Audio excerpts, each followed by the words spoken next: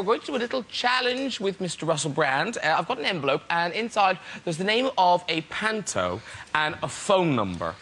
And the idea is you've got to ring the number, keep talking about that panto for as long as possible, Mm-hmm. okay? And if they hang up or they guess, then it's over. All right? So there be the envelope. Thanks. Uh, Russell, who are you calling? it's like the Oscars, isn't it? yes. I thought I'd do it with some gravitas. oh, it's a sex line. Oh, I'll be playing the part of Aladdin. Very good. Okay, so press nine. You call away there. Cheers. I like that ring. It's lovely. It's lovely. Gorgeous. ain't it? Nice. I like the bracelet, too. Christopher Biggins and Graham Norton complimenting me on my ring. what a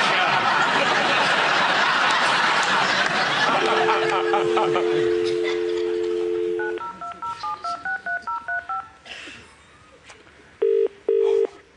Hi, you're through to Triple X Wet Dreams chat line.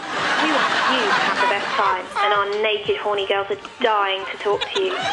If you want to improve your sex life with our sexy bedroom tips, press one now. If you can't wait to get wanking and speak to one of our sexy girls live, press two now. Two, two, two. Two. Two. Damn you, woman! Please hold your cock. Hi there, my name's Tiffany. Do you want to have a good time? Oh yes, I'd be I'd be very interested in a good time. Tell me what you're wearing. Well, tights, really. Um, I'm a, a mysterious man from the east. I've got potent powers, you see, dear.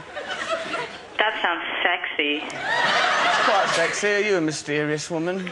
I'm I'm very naked. Really? Hmm. Could you put something on then take it off? Why don't you take your clothes off?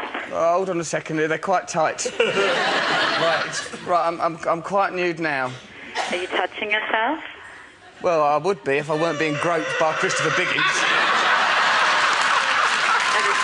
Are there, is there more than one of you there? I'm with a couple of people, perverts mostly. I want to join in. Well, you'd be very welcome if you could handle it. I've got what you can only describe as a glorious lamp that I'm rubbing rhythmically. And within my lamp, there is a potent magical force. Mmm, I like big lamps. Here, if I say open sesame, will you let me in your cave? If you, you can have anything you like. Have you got all sorts of golden treasures in there, have you? Yeah, how'd you get a coat if I get a little monkey in a waistcoat involved? That sounds very kinky indeed. Will be for the monkey, poor little thing. um, I'm going to give you over now to my wife. Bye!